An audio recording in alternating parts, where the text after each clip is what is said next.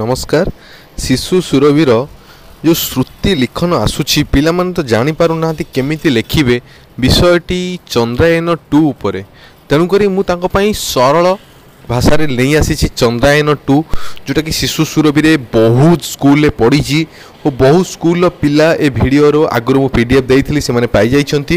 ଆଉ ତେଣୁକରି ମୁଁ ତାଙ୍କମାନଙ୍କ ସମାନର୍ଥେ ବାକି ଯେଉଁ ପିଲାମାନେ ରହିଲେ ସେମାନେ କେମିତି ଭଲ କରିବେ ସେମାନଙ୍କ ଉଦ୍ଦେଶ୍ୟରେ ମୁଁ ନେଇ ଆସିଛି ଚନ୍ଦ୍ରାୟନ ଟୁ।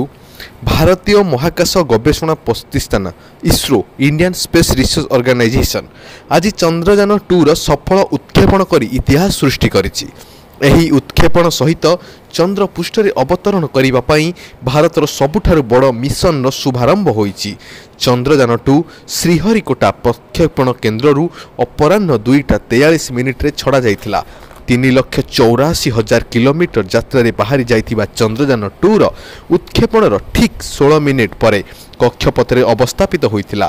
ପ୍ରାୟ ଅଡ଼ଚାଳିଶ ଦିନ ପରେ ଛଅରୁ ଆଠ ସେପ୍ଟେମ୍ବର ମଧ୍ୟରେ ଚନ୍ଦ୍ରଯାନ ଟୁ ଚନ୍ଦ୍ରରେ ଅବତରଣ କରିବ ବୋଲି ଆଶା ପ୍ରକାଶ କରାଯାଇଥିଲା। ଇସ୍ରୋର ମୁଖ୍ୟ କେ ଶିବନ ଏହି ଚନ୍ଦ୍ରଯାନ ଟୁର ଉତ୍କ୍ଷେପଣ ସମ୍ପର୍କରେ କହିଥିଲେ ଯେ ଆଜିର ସଫଳତା ଭାରତର ଚନ୍ଦ୍ର ଅବତରଣ ଦିଗରେ ଏକ ବହୁତ ବଡ଼ ପଦକ୍ଷେପ। ଚନ୍ଦ୍ରଯାନ ଟୁକୁ ଭାରତର ସବୁଠାରୁ ଶକ୍ତିଶାଳୀ rocket GSLV M K three ଦ୍ୱାରା ଉତ୍କ୍ଷେପଣ କରାଯାଇଛି ଏହି ସଫଳତାର ସହ ପୃଥିବୀର କକ୍ଷପଥରେ ଅବସ୍ଥାପିତ ହୋଇଥିବା କେବଳ ଷୋହଳ ଦିନ ପର୍ଯ୍ୟନ୍ତ ପୃଥିବୀ ପରିକ୍ରମା କରି ଚନ୍ଦ୍ର ଆଡ଼କୁ ବଢ଼ିବ। ଏହି ସମୟ ମଧ୍ୟରେ ଚନ୍ଦ୍ରଯାନର ସର୍ବାଧିକ ବେଗ ପ୍ରତି ସେକେଣ୍ଡ ପିଛା ଦଶ କିଲୋମିଟର ରହିବ ଓ ସର୍ବନିମ୍ନ ଗତି ସେକେଣ୍ଡ ପିଛା ତିନି କିଲୋମିଟର ରହିବ। ପୃଥିବୀର କକ୍ଷପଥରେ ଷୋହଳ ଦିନ ପର୍ଯ୍ୟନ୍ତ ପରିକ୍ରମା କରିବା ପରେ ଚନ୍ଦ୍ରଯାନ ଟୁକୁ ରକେଟ୍ ଅଲଗା ହୋଇଯିବ ଏବଂ ଏହାର ପାଞ୍ଚ ଦିନ ପରେ ଚନ୍ଦ୍ରଯାନ ଟୁର ଚନ୍ଦ୍ର କକ୍ଷରେ ପହଞ୍ଚିବ। ଏହି ସମୟରେ ଏହାର ଗତି ସେକେଣ୍ଡ ପିଛା ରହିବ ଦଶ କିଲୋମିଟର। Thank you